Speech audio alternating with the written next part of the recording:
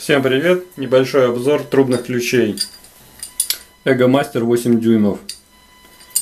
Покупался новый. На трубе было заметно, что эта часть зубьев берет. В принципе, она только и работает. С этой стороны зубья не работает.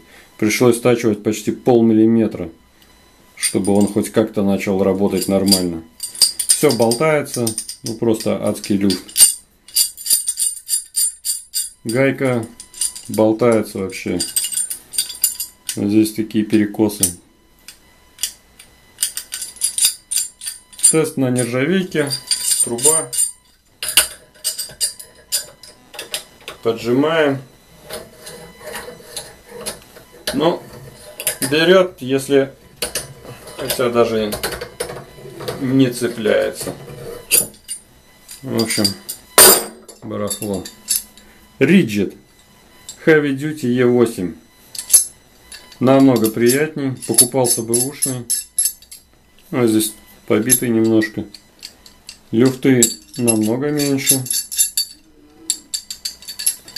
Пробуем на нержавеющей трубе. Вот так поджал. И буквально двумя пальчиками он без проблем ее держит. Вот и все сравнение. USA против Испании. Спасибо за внимание.